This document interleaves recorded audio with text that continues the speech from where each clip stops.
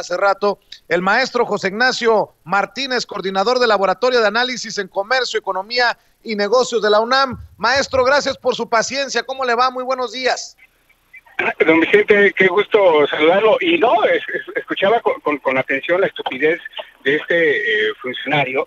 Y, este, mire, don Vicente, ha habido en estos días dos frases desafortunadas. Una de eh, una, funcionaria muy importante, miembro del gabinete, no, este, la, secretaria de la Función Pública, de que la pandemia, este, cae como anillo al dedo. Y ahora, este, la estupidez de este eh, funcionario de que eh, se puede eh, este, vivir con, con, con, mil pesos, ¿no?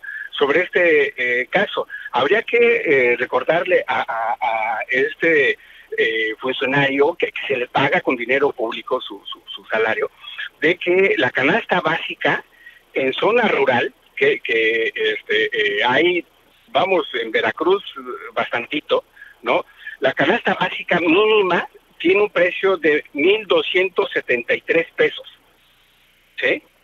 Mm. Y la canasta básica en la zona urbana tiene un costo de 1.786 pesos, ¿sí? Entonces, lo, que lo que dice lo que dice este eh, señor, yo, yo creo que el, gobernador este, eh, debe inmediatamente correr por algo muy importante, don Vicente.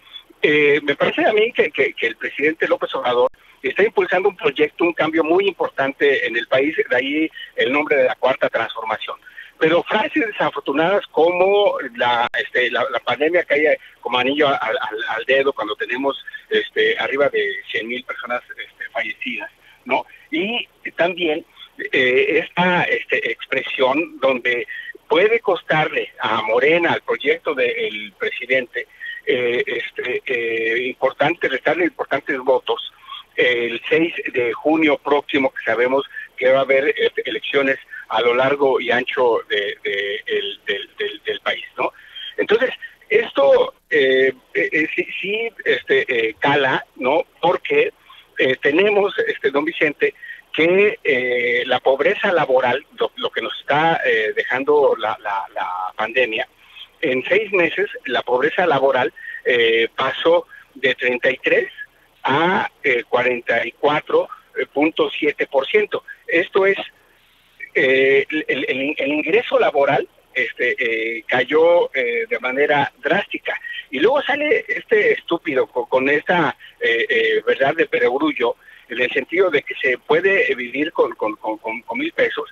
Es, don Vicente, faltarle el respeto a 11.3 millones de personas que quedaron sin empleo, ¿no? Y también este, eh, que pasaron a la, economía eh, informal y de 1.117.000 personas que perdieron su registro ante el seguro eh, social, ¿no? Entonces, sí, este, vamos, el, el señor no tiene que ofrecer disculpas, se tiene que ir, por congruencia lo tienen que correr, ¿no? Me parece que eh, eh, en la próxima gira que haga el presidente López Obrador, en cara, por supuesto, este, se, lo, se lo van a decir, ¿no? Que cómo es posible eh, que, que, se viva con, con ello.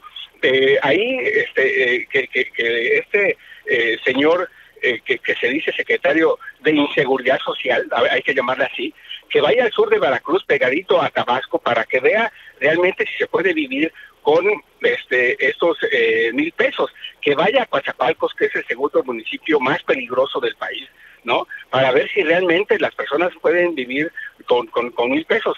Vamos, este, solamente porque eh, eh, estamos hablando de, algo reciente, pero parece, como usted bien dice, un dicho de un panista, de un periodista, pero sí que es difícil de reconocer de alguien, de un gobierno social, con, una enorme sensibilidad como el que está impulsando eh, López Obrador, como para que se diga esto como este, eh, dicen en el barrio, no ayudes compadre, ¿no? O sea, este, eh, no, no, no, no, va por ahí el asunto, ¿no? tomando en consideración de que este, si bien la economía en términos macro este, va bien, pero en términos micro, ese es sin duda el déficit social que tenemos en este momento, ¿no? En, el sentido de que eh, eh, eh, la pobreza laboral pasa de 33 a 44.7%, ¿no? Y tenemos esto como, como, como resultado como para que salga este eh, señor, ¿no? Eh, es un burro, por, por, no, por, por, por decirlo menos. Maestro, déjeme preguntar.